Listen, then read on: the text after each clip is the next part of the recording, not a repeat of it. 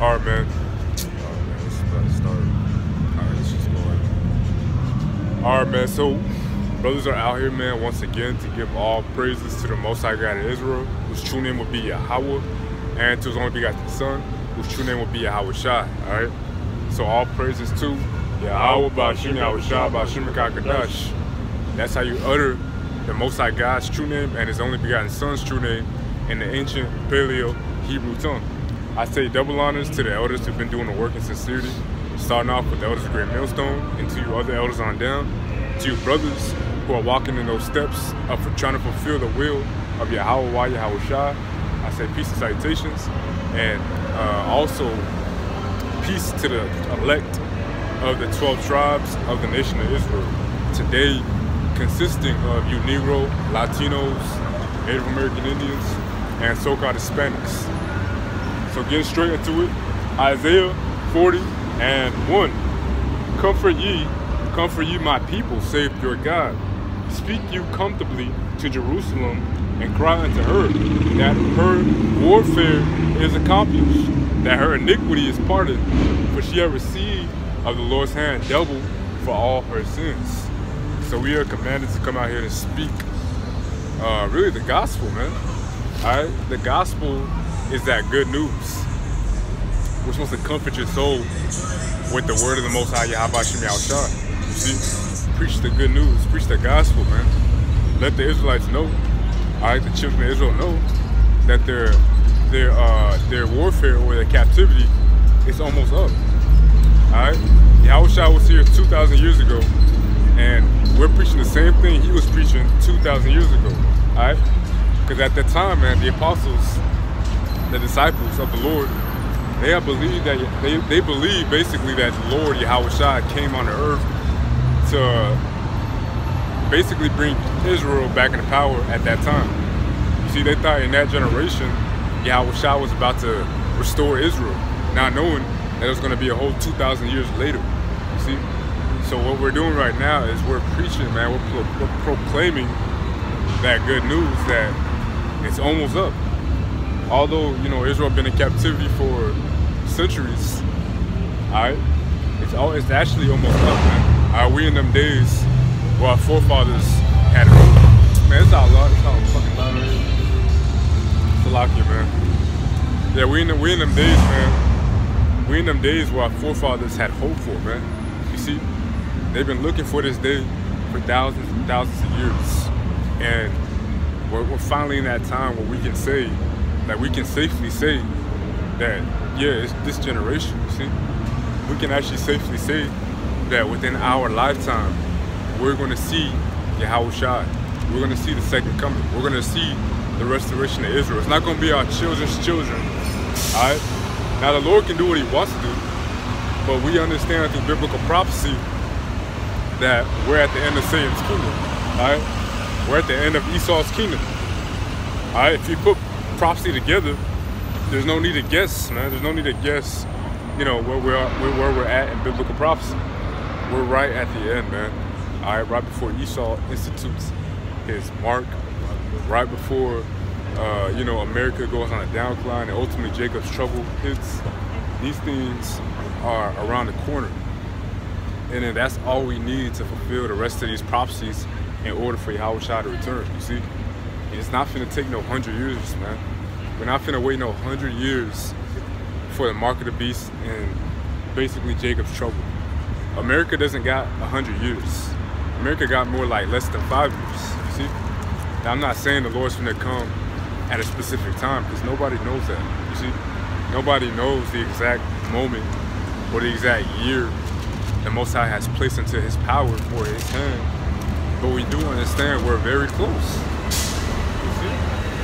We are uh, extremely close. Like, as a matter of fact, um, you do you have? Uh, yeah, so here's Romans 13 and 11. And that knowing the time, that now is high time to awake out of sleep. For now is our salvation nearer than when we believe. Okay, so our salvation is nearer than when we believe. Okay, and that even goes for our forefathers before us, you know. like you know, apostles, the apostles that followed Yahweh the disciples that followed Yahweh they thought the time, you know, they thought the kingdom was gonna come in their time. You know, Peter, you know, he took out his sword and you know he cut off the, uh, you know, someone's ear, you know, that was coming after Yahweh. They thought that, you know, the kingdom was coming in their time and they would fight for the kingdom in that time. You know, which they were, but you know, the kingdom wasn't coming then. But now, our salvation is nearer than we when we believe, because all prophecy, you know, points to that points to that. You know, we are in those last times in that last hour, and you know, at the very, very last. You know, so we will be seeing. You know, we will be seeing the end. All right, but uh, yeah, that's about it right there. I'll get this in Acts one and six. When they therefore were come together, they asked of him, saying, Lord, wilt thou at this time restore the kingdom again to Israel? And he said unto them, It is not for you to know the times or the seasons which the Father has placed in his own power. So they like like we, we like we've been saying, man. Uh, they had believed that Yahweh was supposed to do his uh, put his kingdom on the earth at that current moment. Yahweh said it's not for you to know that. Alright? Basically saying it's nah, not yet. But ultimately, you know, these prophecies gotta be fulfilled, man. You see, ultimately we can say now that we're at that current point in prophecy where Yahweh Shai is about to make his second coming. He's about to make that second return because right now you got the Edomites, the so-called Caucasian man, ruling the earth. And that lines up directly with biblical prophecy. See? Let me get this right here for the second Esdras. Uh, second Esdras, chapter 6 and verses 7, uh, 6 and 8. Uh, I'll start 6 and 7.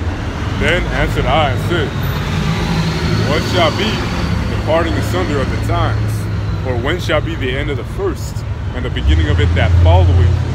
And he said unto me, From Abraham unto Isaac, when Jacob and Esau were born of him, Jacob's hand held first the heel of Esau, for Esau is the end of the world, and Jacob is the beginning of it that follows. So, a good pinpoint and prophecy, you know, to realize like what time we're in. Esau, Edom, the Caucasian is going to be ruling. All right, he's going to be ruling in his kingdom, Babylon the Great. All right, because you got to be well-rounded in prophecy. You got to understand and be able to put two and two together. It tells you in the book of Revelations that Babylon the Great is going to be that last kingdom, right? That great whore. Yeah, that, that great whore, man, that abomination of the earth. So you put two and two together.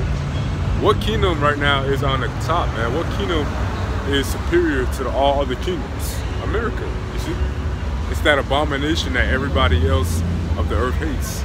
You see?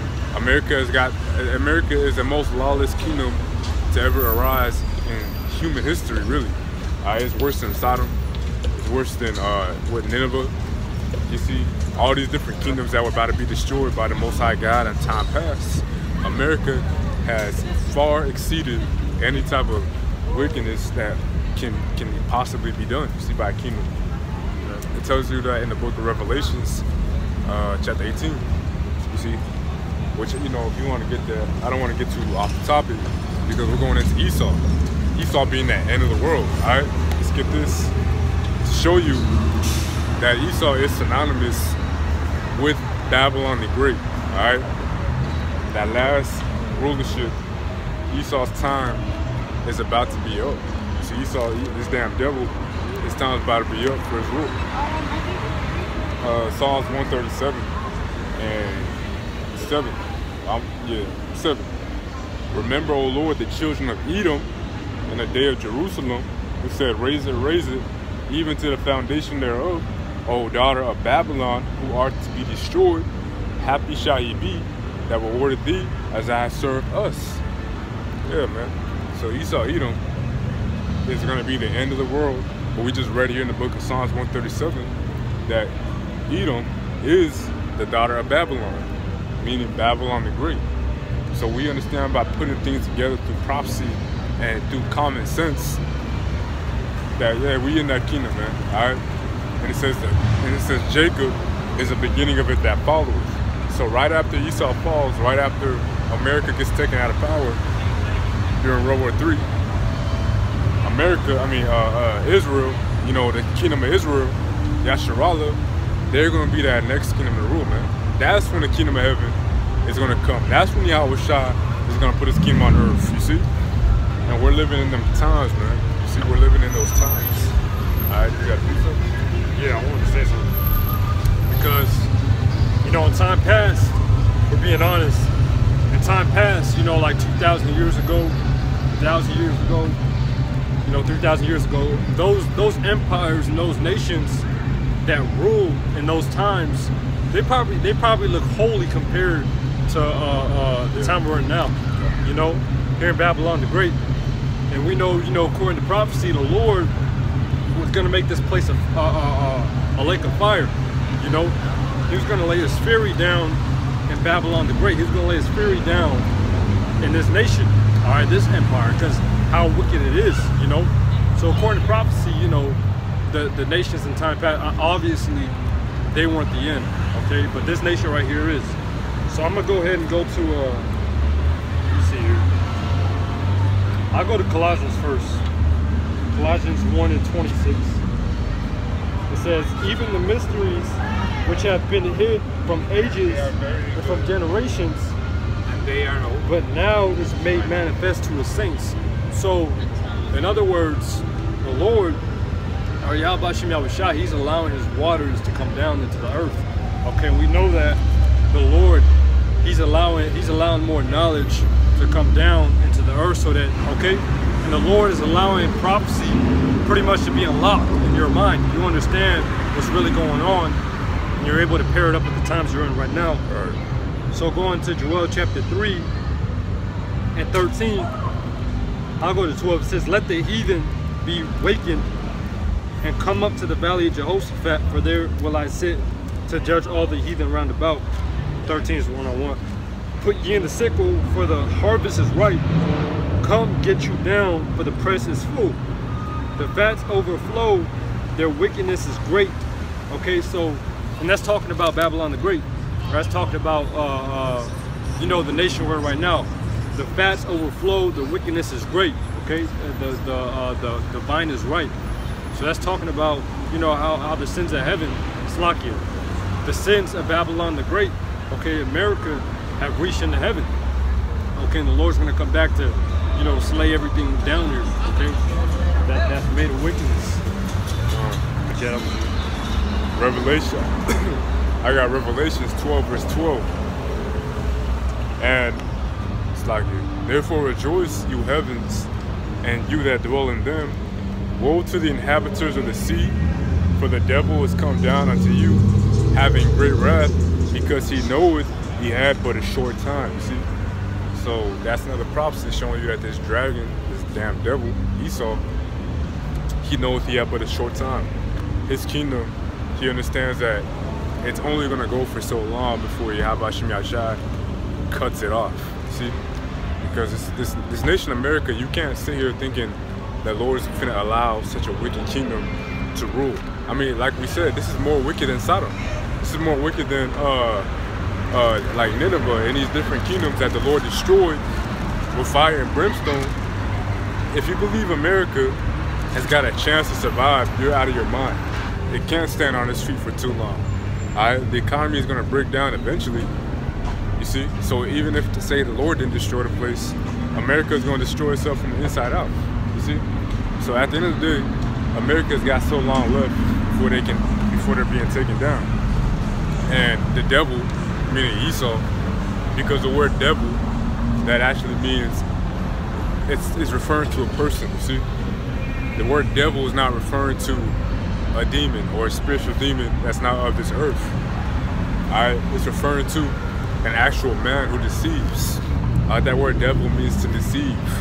Alright, somebody who forges lies. Alright, somebody who um, basically takes a truth and turns it into a lie.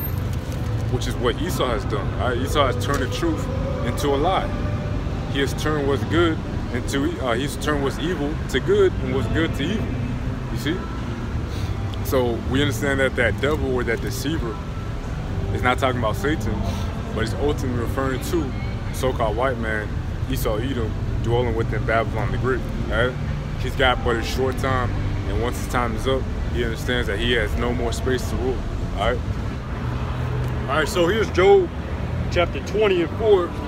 It says, "Knowest thou not this of old, since man was placed upon the earth, that the triumphing of the wicked is short, and the joy of a hypocrite but for a moment.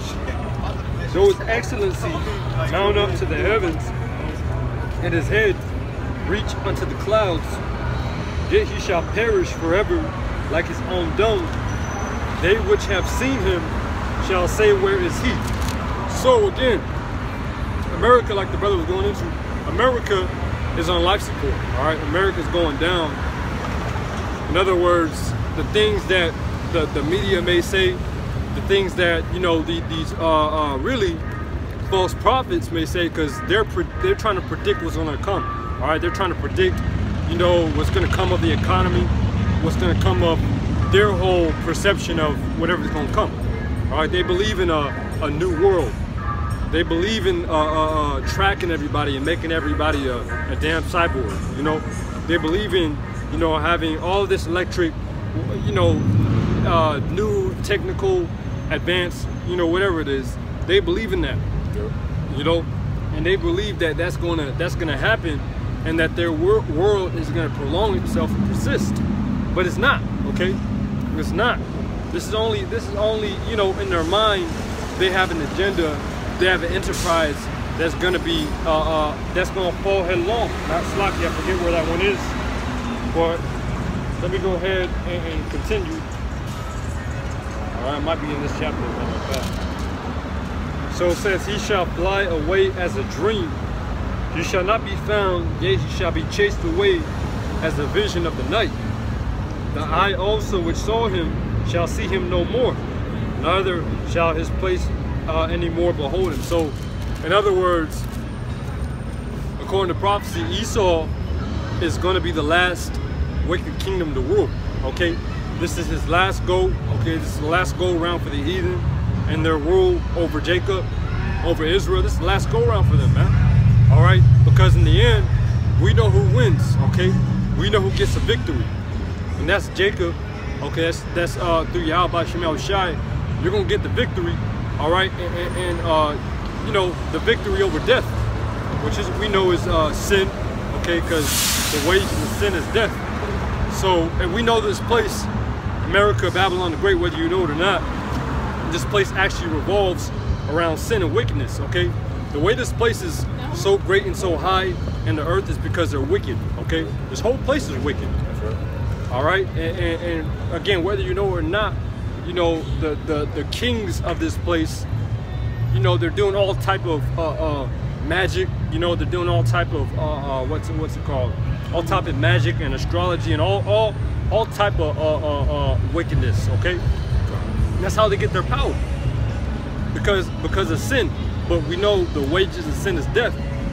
So again, if the wages of sin, sin is death, and this place is full of sin, is reaching unto the heavens, we know that this place is going to be a, a, a, land of death soon to come. Right, man. Yeah, soon um, to come. Yeah. Let's get this last precept here in the book of Isaiah 14 and 1. For the Lord will have mercy on Jacob, and he will yet choose Israel and set them in their own land. And the stranger shall be joined unto them, and they shall cleave to the house of Jacob. Right?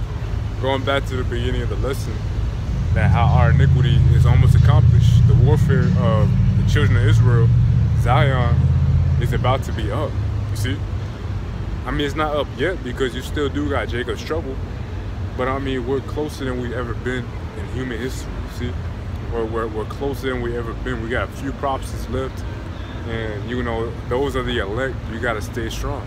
All right? You got to stay strong and trust in Yahweh Shai. Have faith until death because ultimately, we don't know what's coming up in the days to come, but we understand through His prophecies that He's promised us certain things. All right, He's promised His servants that they're gonna eat. He's promised a lot of these things, and it's gonna take faith. See, this is gonna take believing in what the Lord told us. The Lord's not gonna help those who don't believe in His Word, who don't really show forth um, their belief. And really that belief will be shown through you know your works. You uh, you know you out here making a conscious effort. You out here making an effort to you know come back to Yahweh Shai and repent because nobody's perfect. But you making that effort and you trying your best to wax stronger in Yahweh Shai. You, hey the Lord's not the Lord's not a man that he's gonna lie man. You see so at the end of the day we gotta understand that the prophecies do and tell that you're gonna have destruction coming all right there's also a, a, a, good side. There's balance because the Lord has his evil side and he has his good side. So while the wicked is getting the evil, the righteous are going to be protected under, under the shadow of the Almighty. I can tell you because that has made the Lord that habitation, even the Lord that, that refuge, he's going to protect you in the day of evil. You're to have a thousand falling at your right hand, 10,000 on the left or something like that. It's locked you. 10,000 on the right hand, you have like a thousand on the left hand. He says, No evil shall befall thee. He shall give his angels charge over thee to keep thee in thy way. And that's paraphrasing Psalms 91. You can read it because that's really what the elect can look forward to being under the, sh the shadow of the Almighty when the unrighteous don't have that secret place, you see? But you're going to be in that secret place because you were fearing Yahweh Shem Shai, you see? The Lord, the Lord has mercy on those that fear Him and delivereth them. See? Um, yeah, appreciate Yeah. So here's uh, Psalm chapter 37. Okay, it's locked. Give me a second. Yeah, so here's Psalms 37, 17. That's,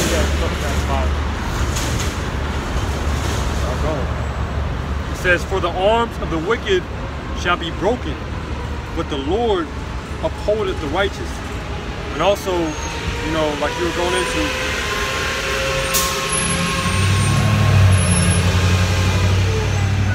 also like you're going into, uh, these people are going to pay for what they've done to the prophets even in time past. Because if you understand, there's regeneration. And those same people that are going to pay for for the the props in time past are paying just you know justly. You know they're paying because of what they did. You know, so in each lifetime, you know, if you were wicked enough to go after the prophets, you the Lord put that wicked spirit on you to go after the the, the men of the Lord who speak the truth, and, and you're just you just couldn't take the truth for whatever reason it was. Like it, in today's time, people can't take the truth because they want to be a part of society. You know, they want to be a part of society, and they want they don't want to be an outcast. You know, so if you ra- if you'd rather be a part of a community rather than to to to, to uh, get down with what's true and what's right, that just says a lot about you, man. That just it tells you that you wicked. All right, that you are wicked. All right, you deserve death. Actually, but I'm gonna go on. I do got the precept on that. All right. If you want uh, to just bring out the account in Luke chapter 11, verse 50, that the blood of all the prophets which were shed from the foundation of the world may be required of this generation from the blood of Abel unto the blood of Zacharias, which perished between the altar and the temple. Verily I say unto you, shall be required of this generation. Ooh, that's um, that's heavy, bro, because it says from the foundation of the world, man. So from Abel all the way till till now, and that's not even counting prophets after that, man. You see, that's crazy. That's so uh, crazy. Uh, you don't want to be a part of that, man. You don't you don't want to be when uh, part of when the Lord comes down with His fury to judge this land. You want to be under that protection, you know. Hey. Even even the men who pierce Yahweh Shai, they're gonna see that, man. Hey. So. All these all these things that people have done in their past life will come to pe- will be will be made manifest. Okay, it's gonna be made manifest in the days to come, and you're going to understand what's going on then. You know. So here goes, uh, going on. It says, "For the arms of the wicked shall be broken, but the Lord upholdeth the righteous. The Lord knoweth the days of the upright, and the inheritance shall be forever." It's talking about the kingdom of heaven, all right? Because the inheritance will be forever. You know, the, the saints shall take the kingdom. You know, it will be forever and ever. What's going on? They shall not be ashamed in the time in the evil time. In the days of famine, they shall be satisfied. But the wicked shall perish, and the enemies of the Lord, because because if you come up against if you come up against the people who speak the truth, you're not coming up against them. You're an enemy of the Most High. You, you hate the Most High. You don't hate us. You hate the words that are coming. You hate, you're hating the messenger, but you're really hating the Most High. But let me go on, because you, you're an enemy of the Most High. Shall be as the fat lambs, they shall consume in the smoke, they shall consume away, like a burnt offering. You know, a fat offering. I mean, so in other words, you're going you're going to be burned. Okay, and that that uh, uh, parallels right, right along with Joel, the third chapter. You know where the, the, the lambs are fat, the fruit is ripe, and, and the Lord's going to just burn it all the way. You see? That's what they did with the fat oil. They burned it all away. You know, you can you can basically see the spirit of Yahshua moving in the earth to the point to where it's like you can basically say this kingdom's finished. Although we do know we're still living in it, but it's damn near done, you see? So let's get this in the book of Lamentations. Okay, Lamentations chapter 4 and 20 and 21. Rejoice and be glad, O daughter of Edom, that dwellest in the land of Uz. The cup shall pass through unto thee. Thou shalt be drunken, and shalt make thyself naked. The punishment of thine iniquity, is accomplished, O daughter of Zion. He will no more carry thee away into captivity. He will visit thine iniquity, O daughter of Edom. He will discover thy sins. So, you, hey man, like the Lord said, our, our punishment is accomplished, O daughter of Zion. He will no more carry us away into captivity. All right, after this captivity, this is that last captivity. No, no longer is the Israelites going to go off because we're going to have the new covenant.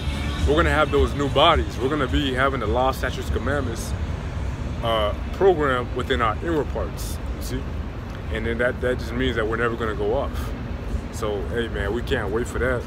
But while we're waiting, you know, Esau Edom, his kingdom's coming down, and he's got to get ready to drink of that cup that we drunk of. See, we, we receive of Yahweh Shem Yahshua double for what we really did. The Lord destroyed Israelites, the Israelites double time over than what they actually did, you see? We did a lot of sins, but Yahweh Shem Yahshua gave our people double. I tell you that in Isaiah 40, that the Lord Lord's given unto us double for what we, uh, you know, He's given us a double punishment. But shit, man, it tells you that Esau, um, you know, Esau's to drink twice as much as, as we got. So we receive double, Esau's going to receive double of that, man. Shit. I can't even imagine, you know, how hard that's going to be. And that's that's the exact reason why in the book of Obadiah, it tells you that there shall be none remaining of the house of Edom. I mean, you you people, man, a lot of these people think that Esau, you know, the Edomites, you know, they can make it, not knowing they're going into captivity, hardcore bondage, and they're going to receive double of what we got. See, if you thought our slavery was bad, to this day, Esau Edom is not finna have no breaks until he's eradicated off the planet Earth. You see, man. You see, so you know, you know, like I said, man. At the end of the day, man, that's the truth of the Bible. That's um, that's just prophecy, you know, and that's the Most High's will. All right, you got precept. No. So we want to give all praises to, and I and I, I gotta say this, man. We got to give all praises that we're Israelites, man. we gotta give all praises to the Most High that we are Israelites. That we're not no Edomite.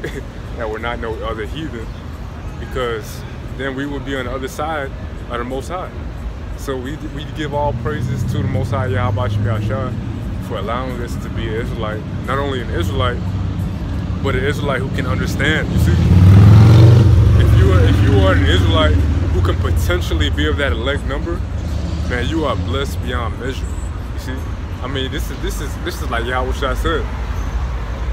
Them who, uh, if you stumble across this truth, it's like you stumbled across a treasure in the field. You see, it's like you walking in the field and you stumble you stumble across a big piece of you know treasure full of gold, riches, rubies, diamonds. You know, that's what we that's what we come across, man. All right, we come across this um this heavenly knowledge, which is going to ultimately ultimately lead to the kingdom of the Most High, Most uh, the Most High God, which we will be kings. We will have new bodies. I mean, hey man, money can't buy what's gonna come. You see. I mean, money can't buy this knowledge first and. Because Solomon told you, gold and silver is as sand, and, and, you know, it's basically like sand before wisdom. You see, you can't buy wisdom, man. You can't buy this truth. You can't buy the spirit.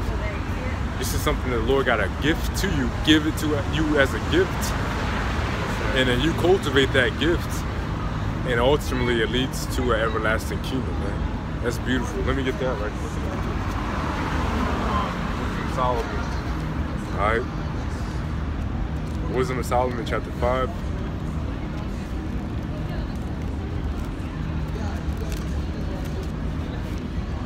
Wisdom Solomon 5 and 15. But the righteous live forevermore. Their reward also is with the Lord, and the care of them is with the Most High. Therefore shall they receive a glorious kingdom and a beautiful crown from the Lord's hand for with his from for with his right hand shall he cover them, and with his arms shall he protect them. See? So for the righteous you live forevermore, man. You're you're you are an immortal, man. That is beautiful, man. That's crazy. Esau's tried so hard to become an immortal, but really you finna get immortality. You finna get uh, a rulership. You finna get a dominion that shall never be tarnished. You see? a, a dominion that shall never fall. You finna go to different planets, different galaxies. Something Esau has tried to do, you know, so-called NASA. They've never been able to go, you know, I don't even think they went to the moon. They probably haven't went to the moon. But you finna go all across the universe. You see? You finna have a charity. I mean, what can like how like these things are not accessible to these human human people. Uh, you can't buy it with no amount of money. That's a gift from Yahweh Shemi Shop, man. You See? How beautiful is that? What's the story in the book of Daniel? Let's get that last precept. Book of Daniel, chapter 7. Okay, the book of Daniel, chapter 7.